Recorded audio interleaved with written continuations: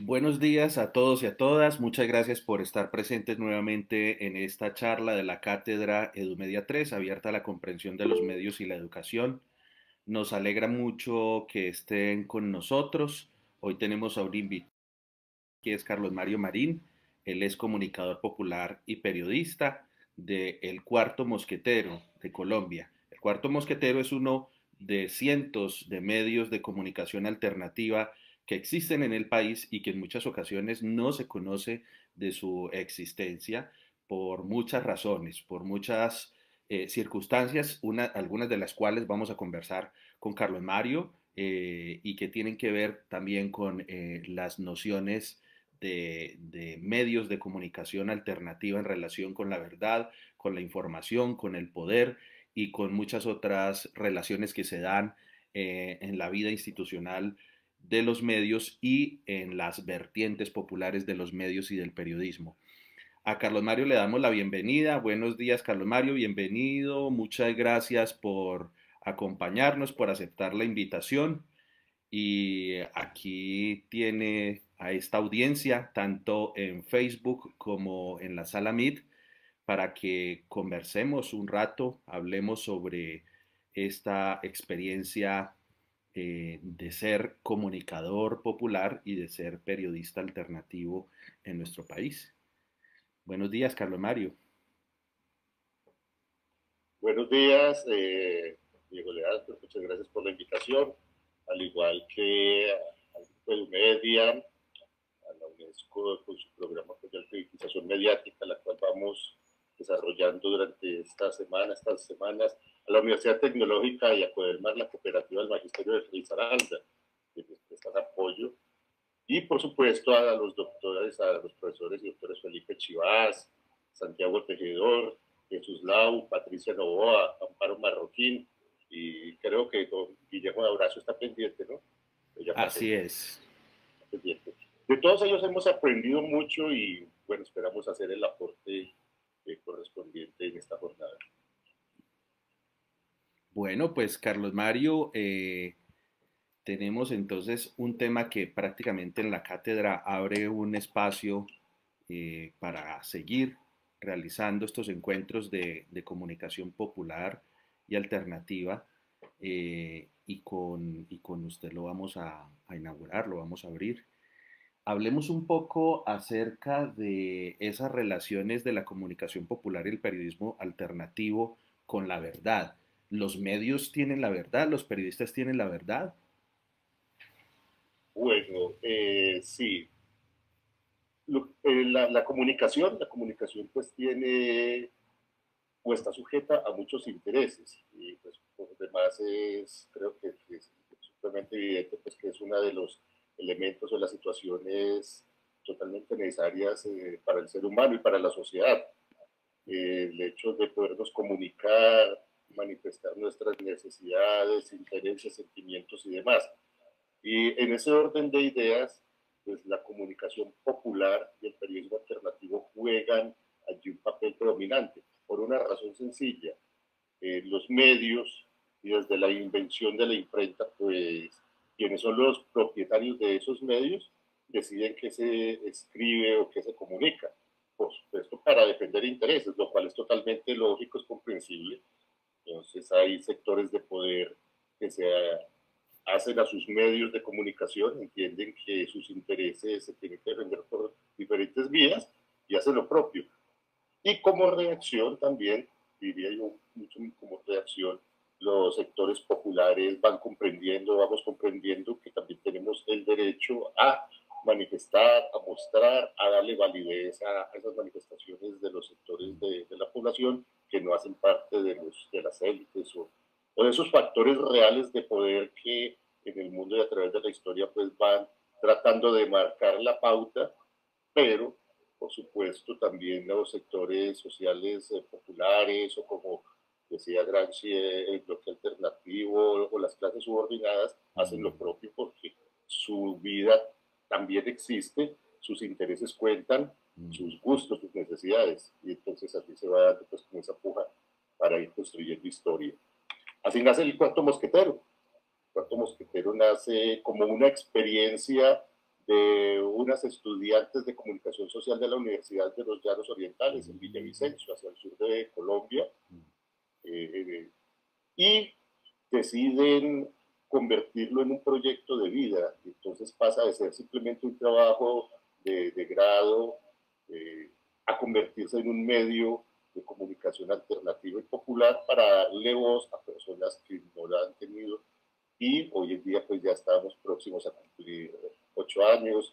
saludos también a, Lina aquí en Villavicencio, Lina Álvarez, fundadora directora, y allí mucho de su equipo en este momento está siguiendo la transmisión. Qué bien y qué interesante esa, esa entrada, Carlos Mario. Me pone a pensar en, en dos cosas. Primero, pues en, en, un debate permanente acerca de las teorías de la verdad y también de cómo los, los medios contribuyen a crear verdad o a distorsionarla en muchas ocasiones.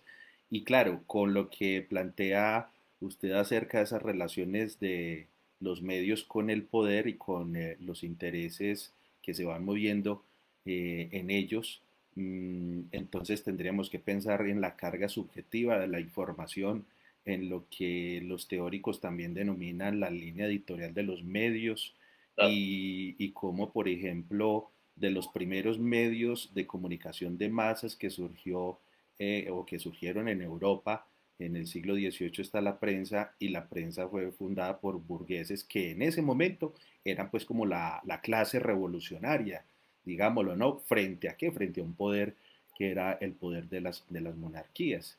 Entonces, mm, en esa medida, Carlos Mario, ¿usted cómo ve el ejercicio de la libertad de expresión que precisamente fue fundada por esas bases ideológicas liberales de la burguesía en esos primeros medios, pero sobre todo la libertad de expresión en manos de los sectores populares y de los medios de comunicación popular y el periodismo alternativo? ¿Cómo lo ve y específicamente en nuestro país desde la experiencia que usted ha tenido con el cuarto mosquetero? Ahí podemos avanzar hacia la, la, diapositiva, por favor. Ahí yo creo que aquí nos sirve de introducción. Precisamente la libertad de expresión como teoría existe, pero también como práctica, solamente hay que apropiarse. Eh, la Constitución colombiana garantiza eh, la libertad de los ciudadanos a difundir sus ideas, a reunirse, a fundar medios de comunicación en ese orden de ideas, pues muchas personas, y entre ellas me cuento yo, hacemos ese ejercicio.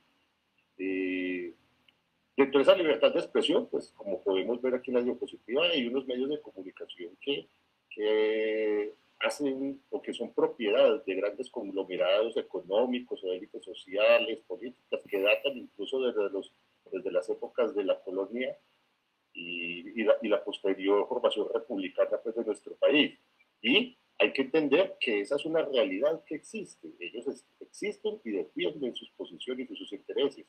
Y en contraposición, pues también los sectores populares o la ciudadanía que decide acoger ese derecho constitucionalmente protegido, incluso está protegido dentro eh, de muchos eh, aspectos de, las de los derechos humanos y los derechos de segunda, tercera, cuarta generación, porque allí también la naturaleza tiene un, tiene una voz que, tratamos de llevarla a nosotros, pero que la, la misma naturaleza eh, se manifiesta de diferentes formas. Todo eso hace parte del mundo y es la posibilidad de nosotros expresarnos porque hacemos parte de esa naturaleza, no estamos aislados de ella. Entonces, aquí vemos cómo la, esa, esa, comunicación eh, y la información varía de acuerdo a los intereses. Ahí podemos ver lo que vivimos en Colombia. Eh, la prensa corporativa pues es propiedad de grandes conglomerados económicos. Aquí vemos al señor Sarmiento Angulo, a Vila Lule ya fallecido, pero sigue su hijo, a Santingo. Vemos al grupo Prisa español, que tiene una gran influencia en Colombia, y ellos marcan precisamente una agenda. Eh, ¿Podemos avanzar, por favor? Ahí vemos otros conglomerados menos conocidos en Colombia, pero que existen, hacen parte de esas castas sociales y económicas como la familia Gómez y Hernández, eh, donde han salido presidentes de la República, ministros de Estado y gente muy influyente en, la política y en el desarrollo de nuestra vida republicana. El Grupo Nacional de Medios también, allí con una fortaleza de familias del Santander, ¿cierto? Y en algún momento también de aquí a Risaralda, como el expresidente César Gaviria Trujillo, todos ellos tienen intereses en esos medios y a su vez intereses en, digamos, económicos en diferentes frentes. Y utilizan esos medios no solo para apuntalar pues, su posición, su defensa de privilegios, sino sus accesos al poder de diferente manera. Si avanzamos, entonces vemos acá esa manifestación desde lo popular, de cómo también nosotros y nosotras podemos eh, medios, cómo lo podemos hacer, porque es nuestro derecho, es nuestra iniciativa, pero ya lo decía hace un rato, pues está constitucionalmente protegida esa posibilidad.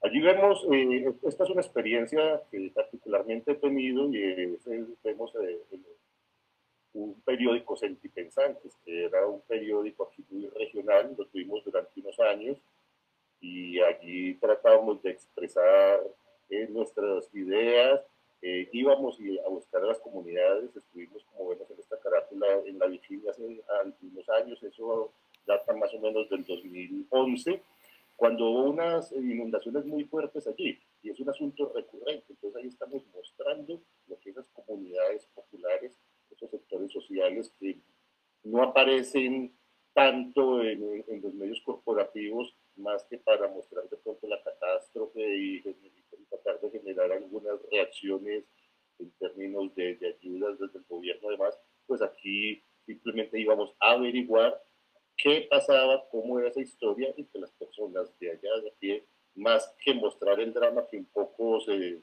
se, proyecta por los medios tradicionales como una forma de generar unas emociones de, de dolor, de tristeza, o una simpatía, pero más con pesar, pues acá ellos nos contaban en ese entonces cómo se organizaban para tratar de darle salida a, a su problemática y dialogando, que lo vemos allí, fue otro periódico que estuvimos sacando hasta hace algunos años y ese era desde una concepción magisterial, un sector del magisterio colombiano que también expresaba sus posiciones, y no solo en términos de, de lo que tiene que ver con su profesión, sino la relación con la sociedad.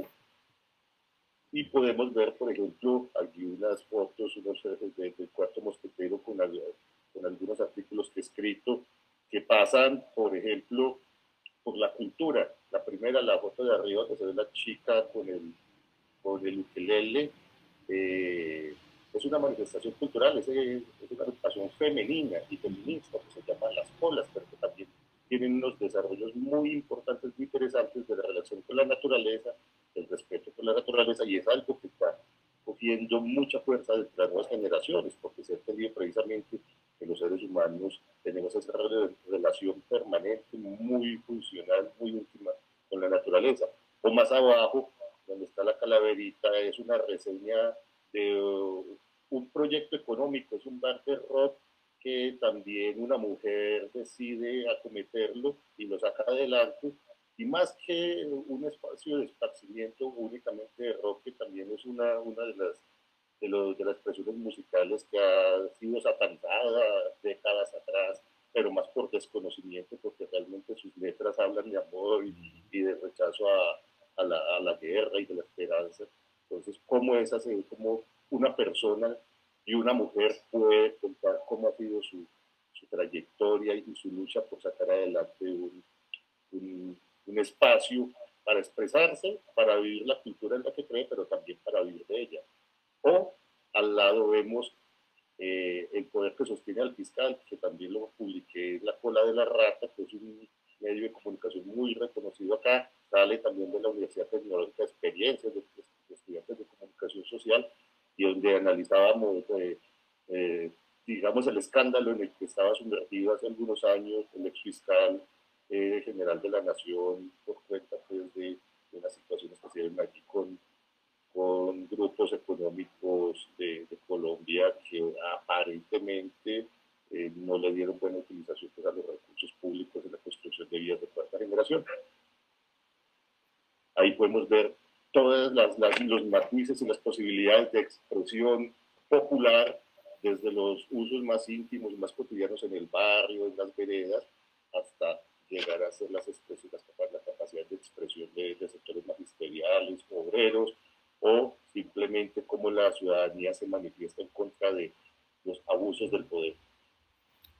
En esto que, que usted nos viene comentando, me pone a pensar, primero, eh, bueno, con las diapositivas anteriores en las que se establece de manera clara y directa esa relación o ese vínculo entre los medios, eh, los poderes económicos y políticos también de, de, un país, pues me hace acordar primero, por ejemplo, Ignacio Ramonet, que ha hablado mucho de esas relaciones de, de los medios con el poder económico y con, con el poder político, pero también me hace acordar de teóricos de la comunicación que dicen que en, la, en, en, los orígenes de los medios, como comentábamos ahorita también con el caso de la prensa, eh, los fundadores de esos medios, que eso fueron los, los burgueses del, del momento, ¿cierto? Con, con, todas las teorías liberales que iban eh, mm, desarrollando ese, ese, capital, ese capitalismo inicialmente, pues eh, presentaban los intereses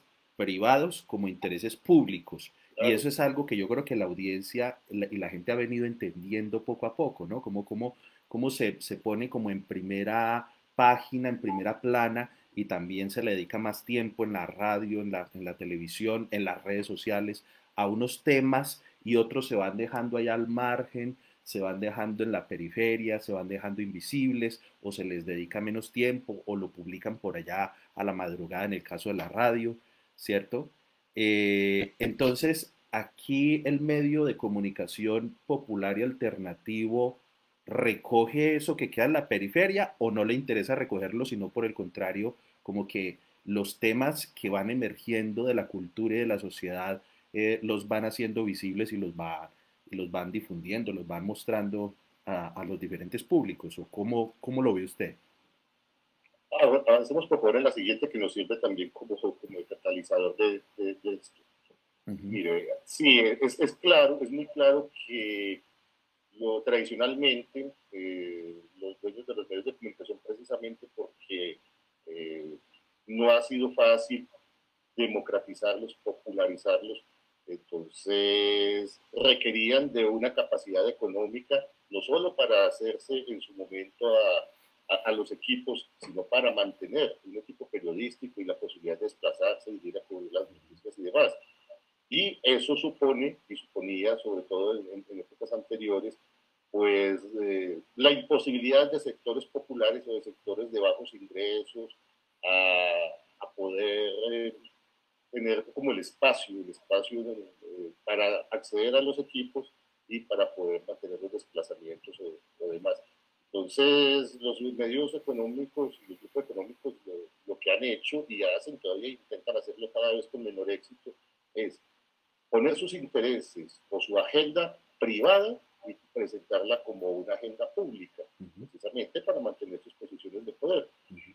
Pero con el, el, la, digamos, con el acceso de, a Internet, a las nuevas tecnologías, pues esas posibilidades se han democratizado y hoy en día es mucho más sencillo eh, que cualquier ciudadano o ciudadana con su teléfono haga cubrimiento de un hecho noticioso, como lo, como lo vea, o de algo, o, o presente, muestre algo considere que es digno de, de, de mostrar, de, de, poner en conocimiento público. Y un poco eso hace parte del ejercicio de la, de la, la información y de la comunicación contrahegemónica que más adelante vamos a ver en las, en, las, en las diapositivas. Y aquí podemos ver entonces precisamente cómo los sectores populares también tenemos el derecho a que nuestras realidades sean, que existan, que coexistan con, con otras realidades de los, de, los, de los otros grupos de poder o otros grupos sociales que existen en cualquier sociedad. Y son realidades que son muy válidas y muy importantes. Ahí hay una, unas cosmovisiones que, como vemos a la señora Entera, de un cabildo indígena acá en Pueblo Rico, de Saralda, Díaz al Chocó, eh, ella se dedica a tejer. Pero en ese tejido no solamente está depositando su historia y su sabiduría ancestral, sino también está depositando la posibilidad de acceder a, a, un ingreso económico de donde en alguna medida se sostiene esa familia. Uh -huh. Como podemos ver más abajo, por allá donde estamos con el señor del sombrero, que es un, un negocio que se llama La Guaira, que queda en una de las veredas de aquí de Dos Quebradas, Risaralda, uh -huh. eh, con cómo después de la pandemia, nos contaba allí en su momento, eh, toman la decisión de no esperar ayudas de, los gobiernos locales y nacionales, sino que cogen en sus manos eh, la creación de una empresa, de un restaurante para subsistir, porque venían de una situación mm. bastante precaria. O cómo, por ejemplo, vemos allí las expresiones musicales, no mm. solo de los jóvenes, sino de generaciones anteriores que existen y que tratan de manifestar eh, situaciones, sentimientos, necesidades y anhelos y, son dignas de ser, de mostradas. Abajo por ahí vemos unas casitas, eso fue en el municipio de Alaime, Tolima, y esa fue una foto de un reportaje que le hice a una comunidad campesina que se estaba resistiendo contra la entrada de una multinacional minera, la Anglo Gold Ashanti, que quiso eh, cortar básicamente una montaña, eh, acabando también con los ríos, solamente por extraer oro.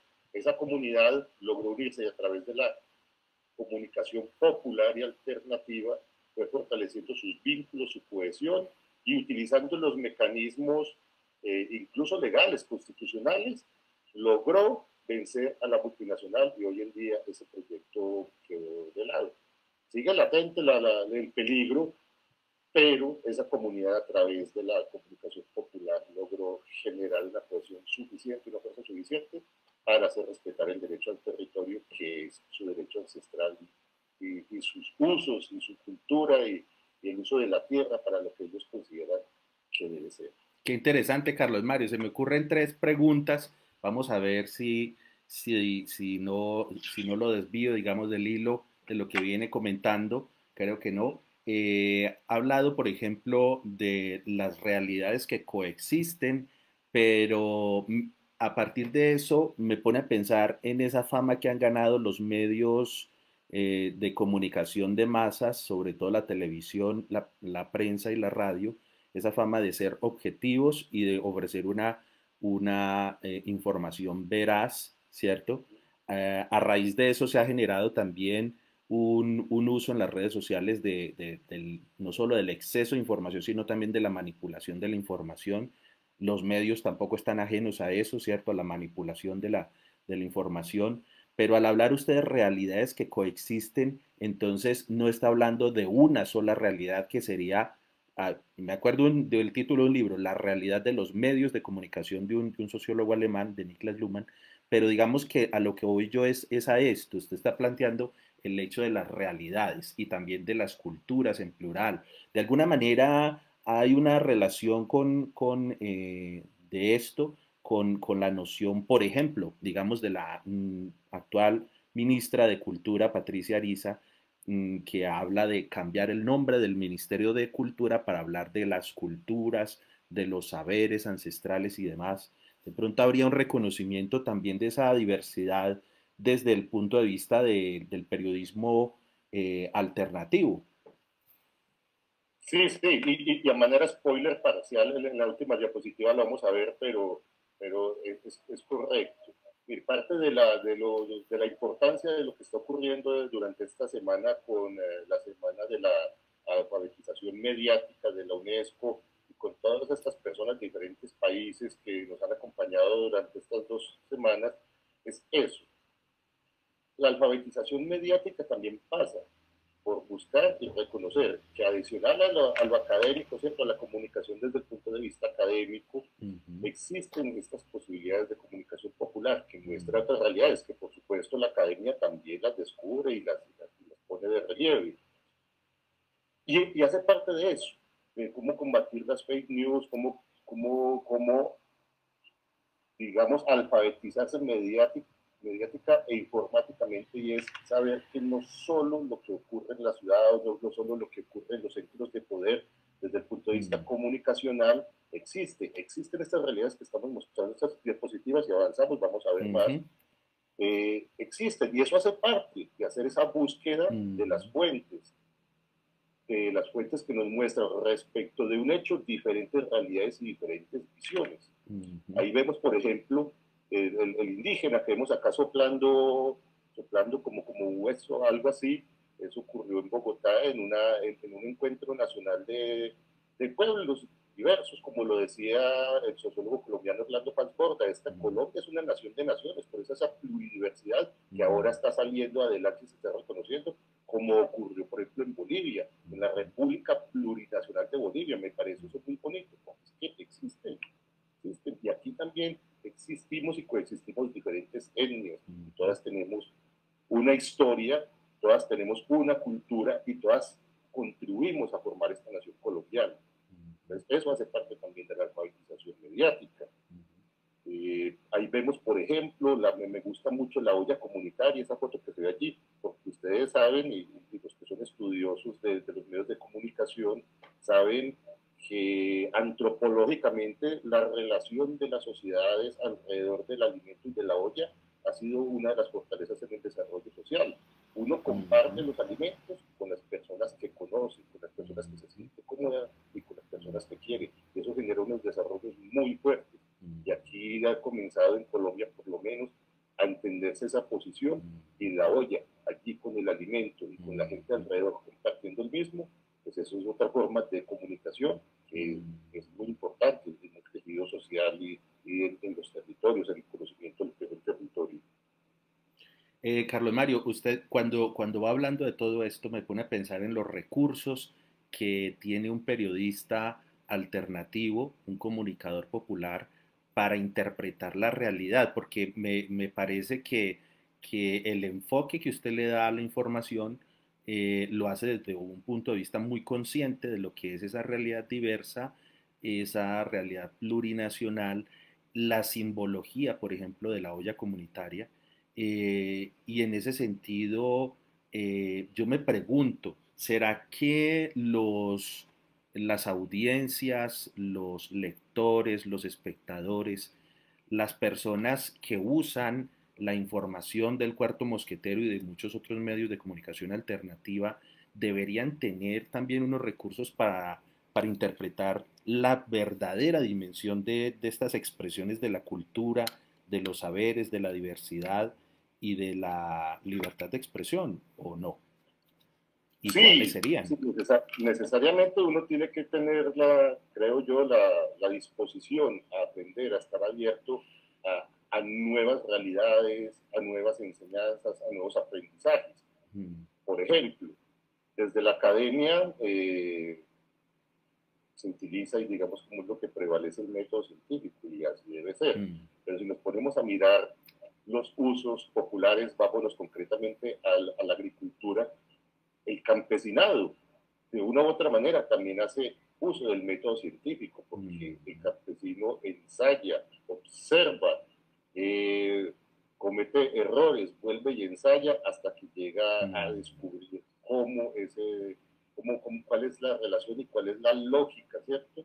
del ciclo natural. Y así nace la agricultura y así logra extenderse hasta lo que conocemos hoy. Entonces, de la, de la misma forma, los sectores populares eh, hacen uso a su manera de, lo que es el método científico y eso hace parte de los recursos que uno debe tener la disposición a abrirse a ello.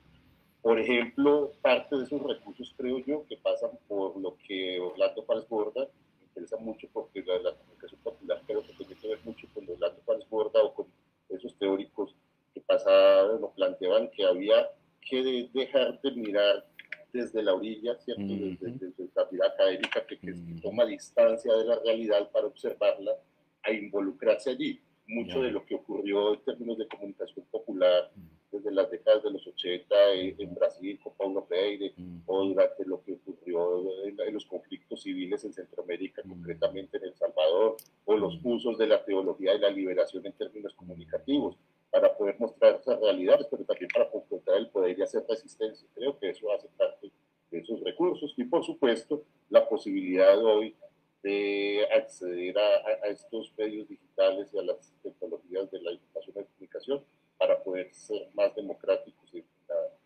mostrar estas realidades y comunicarlas.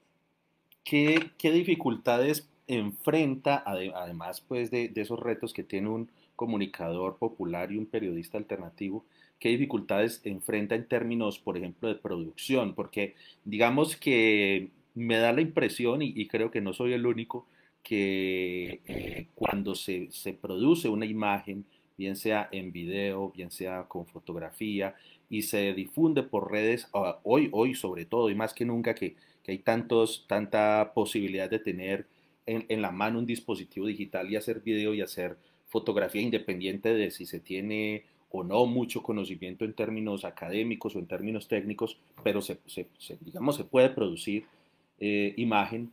Eh, ¿Qué dificultades en términos de producción? ¿Qué hay detrás de la producción, por ejemplo, de un informe, de una noticia, de un reportaje?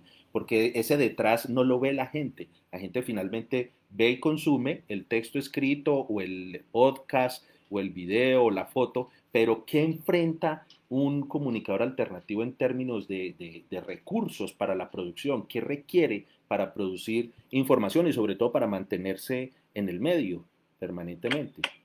Avanzamos, por favor, diapositivas para... Bueno, digamos que la, de, de, las primeras dificultades es enfrentarse con el poder. Uh -huh.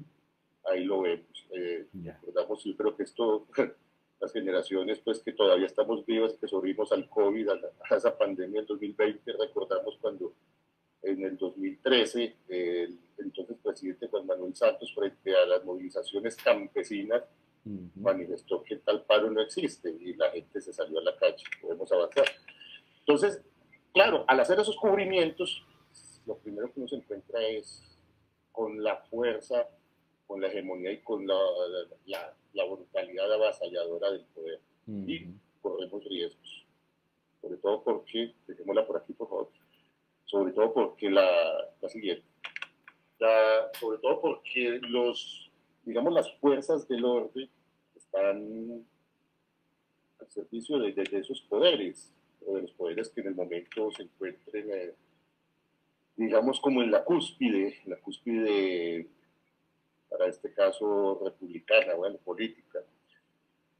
Y entonces uno sí nota cómo cuando llega, por ejemplo, en Colombia, un periodista, una periodista del canal de RCN, o la revista Semana, o de Caracol, o de Cable Noticias, pues son tratados de una manera, pero cuando llegamos los, eh, los reporteros populares o no alternativos, eh, somos agredidos. Mm.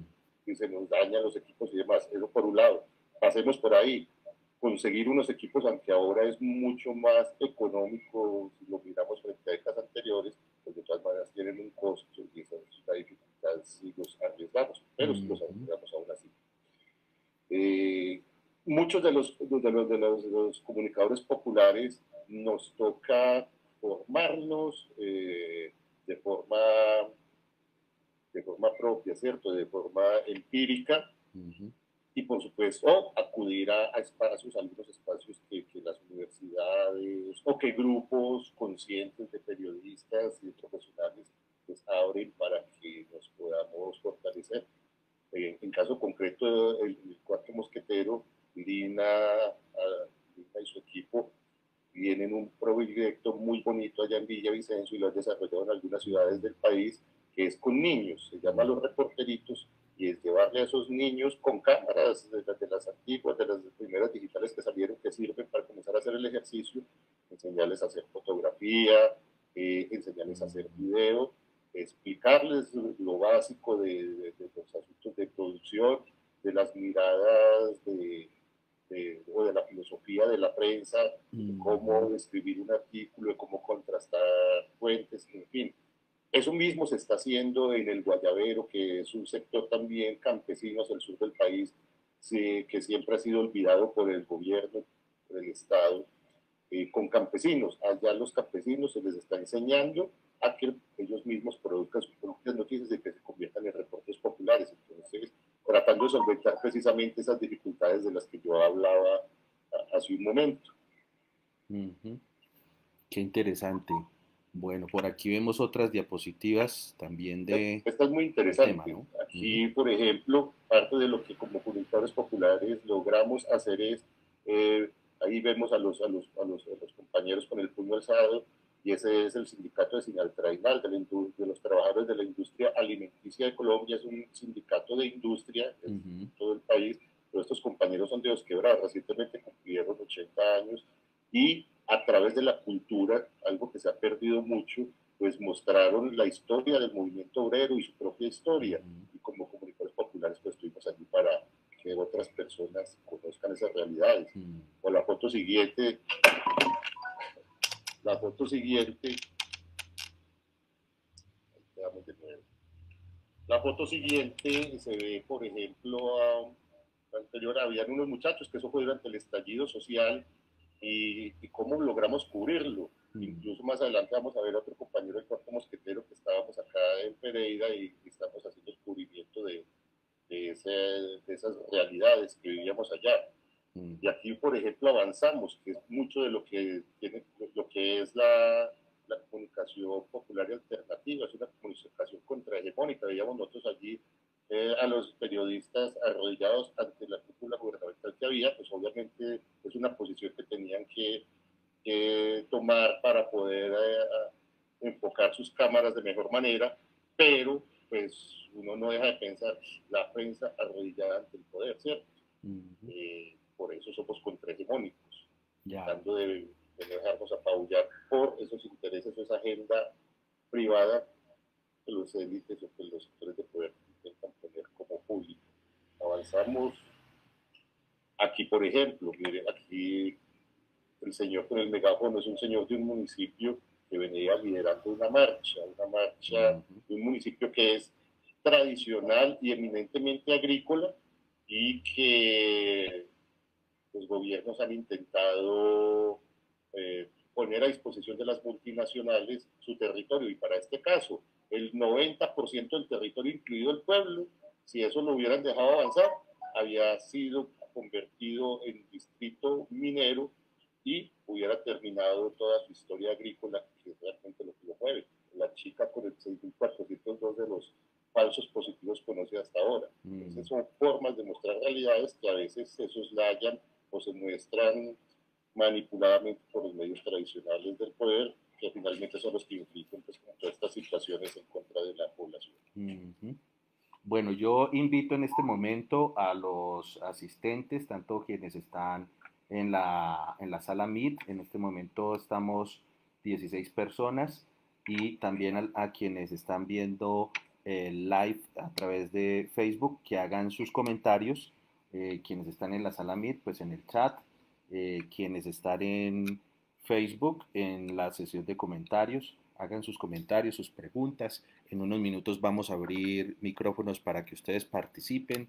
Eh, yo por ahora tengo, tengo tres preguntas, pero si quiere Carlos Mario continúa y creo que son tres preguntas que tienen relación con todo en general, con todo lo que ha venido hablando hasta el momento o, las, o las, o se las planteo de una vez, no sé cómo. que le propongo es que terminemos las, que terminemos las diapositivas porque al final me parece que hay algo que es bien interesante y ya.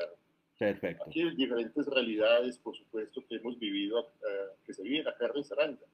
Todas las vías acabadas por donde los campesinos tienen que sacar sus, sus productos y que son un poco la explicación de, de, la, de la inflación que vivimos hoy en Colombia. O sea, también es un fenómeno mundial, digamos, Colombia se explica en alguna así. Si seguimos eh, con la diapositiva, bueno, acá por ejemplo, esto me parece interesante. A través de la comunicación popular, yo particularmente pude ver el ascenso, el ascenso de dos hombres ahí que los vemos con los micrófonos y de una muchacha, una señora afro, personas que vienen del campo y de los territorios más inhóspitos de Colombia y que a través no solo de la unión y de la fortaleza de la cohesión de sus grupos campesinos, eh, afros, étnicos, eh, y a través de la, comunicación popular lograron tomar un, un, posicionamiento hasta que ambos, los dos señores campesinos del origen campesino, logran ser senadores. ¿Para qué? Para defender sus intereses allá. O la señora Afro, que hemos, la reconocemos, es la actual vicepresidenta de Colombia, la doctora Francia Márquez. Entonces, esas son cosas que, yo creo que han posibilitado la, la, comunicación popular y que hubieran sido invisibilizadas de otro modo. Si avanzamos, bueno, aquí vemos también, eh, por ejemplo, el tema de las primeras líneas. Una cosa es como nos lo han mostrado en el estallido social, nos lo han mostrado la, la, prensa tradicional y otra cosa es cuando nosotros que hemos estado allá metidos en las refriegas y tratando de hablar un poco con estos muchachos, pues uno descubre que realmente son pelados y peladas que sintieron primero la necesidad de manifestarse pero a través de tomar esos tarritos para defender a los manifestantes, sintieron que eran parte de algo. Una generación que nació después del neoliberalismo en Colombia, en América Latina, en donde se acabaron todos los derechos y las posibilidades de generar un proyecto de vida certero. En esta coyuntura de manifestaciones, en concreto en Colombia, sienten que pueden ser parte de algo, ser parte de un movimiento y defenderlo. Me parece una cosa muy bonita que no hubiera conocido, no hubiera conocido si hubiera sido por la, la comunicación popular. Y si seguimos, porque aquí ya vamos, uh, podemos adelantar, podemos adelantar, por ejemplo esta, esta, esta me parece, me gusta, Maradona, con todo lo polémico que puede hacer su vida y su historia, pero es un fenómeno popular. Y ahí podemos ver la foto del otro extremo, como dos personas hinchas del fútbol en Argentina, de los equipos más rivales, rivales más acérrimos ante la, la, muerte de Maradona, cómo se abrazan y es una manifestación popular que pues lo que también me parece supremamente hermosa, como, como ante, un, ante algo que une al pueblo, ese dolor para el caso, las rivalidades se olvidan y así se crece, así se forma también el tejido. Si avanzamos, para ir terminando, aquí es, es lo que somos los comunicadores populares, es tener la lente ahí, es estar participando en espacios, ahí está el compañero José cuando estuvimos cubriendo el estallido social aquí en Pereira en concreto, y si avanzamos vamos a ver lo que yo creo que es la conclusión de lo que somos los comunicadores populares, es empantanarnos, es ir allá, caminar por esas vías por donde los periodistas de los medios tradicionales por lo general no van, porque es que ahí no hay hechos noticiosos que vendan, le vendan al gran público. Y seguimos. Este es el cierre y esto yo creo, para mí la conclusión de la comunicación popular es esto, mirándonos a nosotros mismos, retratándonos a nosotros mismos, estamos retratando el país y viceversa. Es una, relación de unívoca que no se puede desprender creo que esas últimas dos fotos para mí condensan lo que es la comunicación popular. Muchas gracias, Carlos Mario. Gracias por, por asistir, gracias por compartirnos su experiencia, por eh, estas ideas y estos planteamientos que, que, seguro alimentan el debate no solo alrededor de la información y de los medios, sino también de... Eh, lo que se expresa, lo que se comunica, lo que se informa y, cómo esto es una expresión también de eh, ciudadanía, ¿no? Que, esa es otra, otra parte interesante de su, de su conversación, ¿no? Eh, ¿Quiénes son los ciudadanos? ¿Quiénes son considerados ciudadanos y sujetos de, derechos y de deberes en un eh, panorama mediático que pues Claro, la Semana Global de la Alfabetización Mediática Informacional también busca como propósito eso, ¿no? Que haya un diálogo desde la diversidad, haya una democracia audiovisual, haya un derecho a la pantalla, como dicen algunos eh, investigadores, algunos profesores, y en ese sentido, pues creo que ahí hay un planteamiento bien interesante. Yo quisiera darle la palabra aquí a, varias personas que están en la sala Meet. Eh, Alba Lucía González Londoño nos saluda desde la Institución Educativa Ciudadela Cuba de Pereira. Muchas gracias, Alba Lucía, por acompañarnos en varias conversaciones en las que has estado. Eh, aquí Carlos Mario nos pone el enlace del cuarto mosquetero para que estén conectados, lo sigan a través de redes sociales, se informen a través de ellos. Eh, Sócrates Mateo nos saluda, buenos días Sócrates, y pues en este momento le damos la palabra a los asistentes. Si hay alguna pregunta, eh, por favor levanten la mano. En la parte inferior de sus pantallas se encuentra una manito, pueden presionarla o pueden escribir sus preguntas y comentarios aquí en el chat. Mientras tanto, Carlos Mario, yo quisiera plantear algunas preguntas relacionadas con, lo que ha venido comentando y con lo que ha, sido parte de su, de su disertación, de su conversación en este momento. Entonces, mm, una pregunta inicialmente tiene que ver con eh, alguna, una, una una crítica que se da también alrededor de los medios en general, no solo esos medios hegemónicos, sino también contrahegemónicos. Y yo quisiera planteársela de esta manera.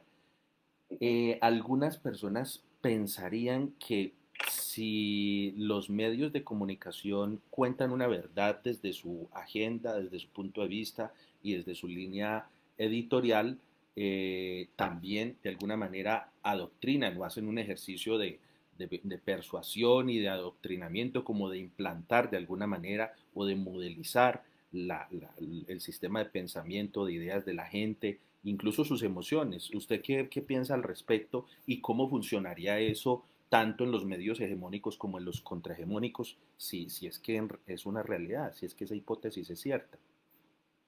Sí, yo, yo pienso que evidentemente eso es cierto, eh, porque partiendo de que los medios eh, se utilizan para, para, mostrar intereses diversos, pues en esa misma medida eh, se trata de mostrar las realidades desde la vista o desde la óptica de quien informa y desde quien es propietario o hace uso del medio. Así eh, los medios tradicionales que pertenecen a las castas o a las élites económicas pues hacen lo propio y los medios populares pues intentamos hacer lo nuestro. En donde creo yo que se debe dar la, la conjunción positiva y es que se permita la pluralidad, el que se puedan mostrarle y decirle al público esta es otra mirada hay otras, pero esta es una. Esta es nuestra mirada, nosotros proponemos esta mirada para que las audiencias tengan elementos de juicio y se genere su propio criterio, porque finalmente el mundo es múltiple, tenemos múltiples visiones, somos multiculturales, todos existimos y coexistimos en, en este planeta, en estos territorios, en las naciones, en la sociedad misma. Entonces, es entender que tenemos diversos intereses, diversas miradas frente a un hecho, pero que todas esas miradas eh, pueden coexistir. Y de esa forma es que se genera sociedad, sobre todo sociedad democrática. Qué interesante, porque este es otro punto de vista, es decir, eh, esa idea de adoctrinamiento a través de los medios y de diferentes también eh, recursos, incluso cartillas y demás, es una mirada como que de alguna manera señala la, ultraderecha o ha señalado la ultraderecha no solo en Colombia, sino en muchos otros lugares, incluso en, en, eh, gobiernos de, países europeos. Y entonces aquí me hace acordar de Victoria Camps, que fue profesora de ética de la Universidad Autónoma de Barcelona y también ha hecho unas reflexiones muy, muy agudas y muy detalladas acerca de la ética de la comunicación y de la ética de los medios y de Adela Cortina, también otra filósofa española, que hablan del pluralismo informativo. Entonces, usted asume que el adoctrinamiento sí es parte del fenómeno mediático, pero digamos que no está mal visto, es parte de la naturaleza de la información y del origen de los medios, pero, eh, y de su función, si se quiere, pero digamos que el problema está es en no saber balancear los puntos de vista, tanto desde desde el ángulo del periodista como también la existencia y la coexistencia de, varios medios de comunicación con distintas miradas. así lo entendí, sería así más o menos. Pues yo lo, yo lo veo así, porque es que, ¿cómo vamos a negar realidades que son evidentes? cada quien tiene unos intereses e intenta sacarlos adelante. Y esos intereses, que muchas veces son individuales, a veces se enmarcan dentro de lo colectivo, que sería lo mejor para poderse regular, ¿cierto? Eh, existen y y son contrarios por lo general. Y, yo, y yo más que como un intento de adoctrinamiento, yo lo veo como un proceso dialéctico. Mm, Aquí se trató hace algunos años y sigue siendo, eh, sobre todo desde el punto de vista político, por las formas del poder en Colombia, eh, digamos, plantear la, la, posición de que no polaricemos, que polarizar está mm. Mal por el contrario, veo la polarización como parte del debate y para que el debate es bueno, es necesario. Es el, ejercicio dialéctico, no solo de los procesos, sino de la misma historia. Entonces, pues, tenemos que eh, hablar, para eso es la palabra, utilicemos la palabra para debatir, para confrontar intereses, para buscar consensos, caminos comunes de como nación y entendiendo que subsisten, subsisten y subsisten y subsistirán pues, las diferencias que las sepamos encaminar y dependiendo de los desarrollos históricos, pues irán triunfando unas u otras eh, según los flujos y reflujos de esa misma historia. Qué interesante, porque la dialéctica dinamiza y libera la expresión y libera también el pensamiento. En cambio, eh, la noción de adoctrinamiento puede que, que, lo sesgue y más bien puede ser un pretexto también de quienes acusan a los medios de, de, adoctrinar, eh, puede ser un pretexto también de alguna manera para coartar la libertad de expresión. Eh, pero este, este, debate, claro, tiene muchas más aristas y muchas más cosas. Sin embargo, yo quisiera darle la palabra a alguien que nos levantó la mano por aquí, a ver si lo veo en la lista. Creo que, bueno, creo que ya la bajó, pero no sé. Mm, a ver si lo veo acá. Juan Miguel, creo que Juan Miguel habías levantado la mano. O Miguel Ángel, no sé, alguno de los dos creo que vi. No, qué pena, fue. Se me fue el dedo, qué pena. Ah, estoy escuchando, muchas gracias. Ah, bueno, bueno, está bien. Es, que, es que eso hace parte de los, de, digamos, de las dificultades que tenemos los comunicadores populares, porque si ustedes pudieron ver por ahí, tuve un pequeño percance con la cámara, pero bueno, pero seguimos transmitiendo y charlando. Claro, claro, claro. Pues precisamente una de mis preguntas también va en ese, en ese sentido. Eh, hay una capacidad de penetración en, los, en, en la vida eh, privada, ¿cierto? No solo en la vida pública, de, la gente, ¿sí? de los medios hegemónicos y de los medios, eh, digamos, con, mayor poder económico que se ve reflejado en el poder de producción de la información, ¿cierto? Porque están en diferentes partes del país o en diferentes partes del mundo, pueden hacer transmisiones en vivo y en directo eh, a través de todas las pantallas, no solo de estas pantallas que, de alguna manera nos facilitan la comunicación a quienes no tenemos esos, esa capacidad, esa, esa, infraestructura, ¿cierto?, de recursos. Pero también está la cuota de pantalla, es decir, el hecho de que a través de las concesiones, que por supuesto son supremamente costosas, son millonarias y a veces son a dos o, tres décadas o más, por lo menos las que asignan aquí en Colombia, eh, las concesiones del espectro radioeléctrico para la transmisión, por ejemplo, de, información y de datos eh, a través de la televisión o a través de la radio. Digamos, esos dos elementos, la, la capacidad, la infraestructura para producir la noticia y la información y, el, y, la, y la capacidad también de ocupar el, el espectro radioeléctrico durante tanto tiempo, esos son como dos elementos claves eh, geoestratégicos en la penetración de los medios de comunicación en la vida pública y privada de la gente. Frente a eso, ¿cuál es la alternativa? ¿Cuál es la alternativa a los medios alternativos? ¿Cuáles son los recursos que utilizan los medios para llegar a la población, para que la gente tenga acceso a ellos, empezando por el conocimiento que tengan de esos medios y también por la credibilidad que tengan de, lo que informan?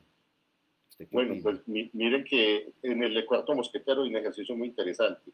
Lo primero es que a partir del año anterior eh, se comenzó a desarrollar una línea una línea como medio alternativo que tiene que ver con la búsqueda de la publicidad o la búsqueda económica, ¿cierto? Eh, en esos sectores precisamente populares. Por supuesto, no genera los ingresos que genera para los medios tradicionales eh, la pauta o demás, pero también se está buscando esa posibilidad para mantener la autonomía. Otra forma que la que utiliza el, el cuarto mosquetero es la participación en convocatorias de cooperación internacional y nacional, de apoyo y de fomento a, los medios alternativos. Y Lina, pues hay que hacer, aquí le hago el reconocimiento público a Lina, que es una mujer muy pilosa, es una mujer muy activa, que se mantiene al tanto de eso y digamos que es la que mantiene vivo el, el, medio, buscando todas esas posibilidades, participando, movilizando personas de sus, de sus círculos eh, a nivel nacional para poder eh, acceder a, a, esos estímulos. Lo otro que el cuarto mosquetero hace es generar alianzas estratégicas con otros medios pequeños también, incluso de los, de los por comillas tradicionales, por ejemplo, allá en Villavicencio hay una emisora que se llama Ondas del Meta, y ese convenio lo tiene con el cuarto mosquetero de, la, de forma tal que pueden acceder a las instalaciones y a los equipos y hacer un programa diario entre 2 y 3 de la tarde, tocando temas de actualidad no solo locales, sino también nacionales. Esas son formas que, que hemos explorado para, poder aumentar su audiencia y la penetración y, llevar el mensaje y la voz de, de los populares. Qué interesante. Finalmente, Carlos Mario, eh, se, vive, se puede vivir de la comunicación alternativa, porque claro, para, para estar en función de la producción y de la información, de alguna manera uno pensaría pues que, que hay que vivir de algo, ¿cierto? O digamos que eh, el comunicador normalmente combina diferentes formas de subsistencia para también tener la, la posibilidad de, digamos, de tener una independencia y una libertad eh, frente a la manera de, de, informar y a la oportunidad de, de seguir eh, presente en los, en los medios de comunicación alternativa. Pues este, este, esto pasa mucho por, por, la voluntad y por, como se dice tradicionalmente, creer en la causa. Muchos combinamos otras, otras ocupaciones eh, de donde derivamos la subsistencia, pero y también incluso hasta para mantener la posibilidad de, de ir y hacer cubrimientos y, y, poder contar las realidades, las otras realidades que se vive en el mundo. Claro. En el caso del cuarto mosquetero, pues Lina ha logrado conformar un equipo permanente que pues, devenga, de, devenga su subsistencia del medio, pero principalmente el cuarto mosquetero, y si ustedes se van allí al enlace que les compartí, miren donde dicen nosotros, podrán ver todo el equipo y está fundamentalmente compuesto por personas voluntarias que eh, han y hemos adquirido la conciencia de que es necesario, eh, digamos, hacer nuestro aporte, yendo a cubrir esas realidades, cubriendo los territorios para que eh, pues precisamente se vean las, otras posibilidades, las otras realidades que existen y que eso sea como nuestro aporte a la conformación de la democracia, la cultura, la multiplicidad de miradas y, y del mundo. Aquí hay unos eh, comentarios en el chat, los voy a leer. Adriana Patiño dice, muy buena la conversación. Alba Lucía González Londoño dice, los beneficios de la comunicación en los medios de comunicación alternativos es de alto impacto cuando se muestra la realidad social en contexto y se puede interactuar con saberes que ayudan al desarrollo de la conciencia ambiental y social, contribuyendo así a elevar el índice de desarrollo humano de la población, la cual, al ser consciente de que debemos propender por buscar el bien común, respetando la diferencia de pensamiento ideológico. Lo alternativo amplía la participación ciudadana. ¿Algún comentario, Carlos Mario? Pues creo que acierta, acierta Alba Lucía, esa es fundamentalmente como, como nuestro espíritu. También a Adriana, pues le agradecemos y a Sócrates sus comentarios, están aquí pendientes, quieren participar, pero sí, evidentemente Alba Lucía creo que acierta en lo que es el foco y la, la filosofía última de lo que nosotros creemos como comunicadores populares que debe ser esta, esta labor. Pues qué interesante esta conversación, Carlos Mario. Estoy seguro que hay muchos más temas que conversar, que compartir sobre este fenómeno de la comunicación eh, popular y alternativa. Eh, sin embargo, creo que ha, ha, ha tocado unos temas eh, fundamentales, unos temas claves también como para, para que aquellas personas que eh, están comprendiendo este fenómeno también puedan seguirle la pista a esos debates, para quienes se motiven en hacer comunicación alternativa y popular, pues también tengan mayor conciencia y mayor conocimiento de lo que esto implica.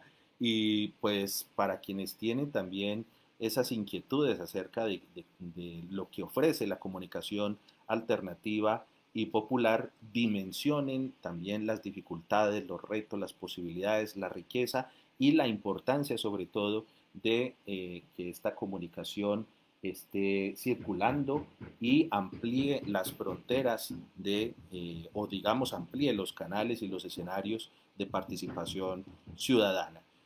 Muchas gracias, Carlos Mario. Si hay algún otro comentario, alguna conclusión que quisiera ofrecernos, eh, lo escuchamos para despedir entonces esta conversación.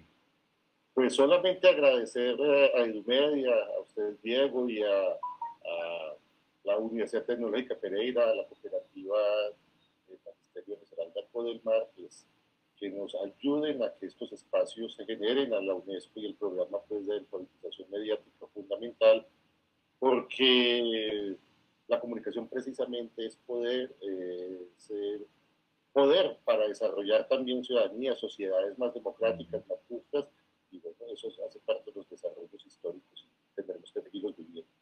Así es, muchas gracias a todas las personas que han estado conectadas, que han, han entrado estudiantes de tecnología, comunicación y educación de la licenciatura en tecnología de la Universidad Tecnológica de Pereira, docentes de instituciones de educación eh, tanto a nivel de primaria como de secundaria y de universidad. Eh, también hemos tenido presencia de centroamericanos, hemos tenido presencia de, personas que eh, están siguiendo la cátedra de Media 3 desde diferentes lugares del mundo. Muchas gracias a todos ustedes por estar presentes, por participar. Gracias nuevamente, Carlos Mario, por asistir a la charla y preparar de una manera tan concreta, pero a la vez también tan detallada esta, esta conversación con las diapositivas, con su presencia, con las ideas que nos ha ofrecido, con la apertura también con la que ha abordado un debate que nunca es fácil de, de, abordar, pero que creo que es, es bastante importante hacerlo para, para el presente y para el futuro. Muchas gracias y buen día. Buen día para todos. Bueno, hasta luego, que estén muy bien. Muchas gracias a todos.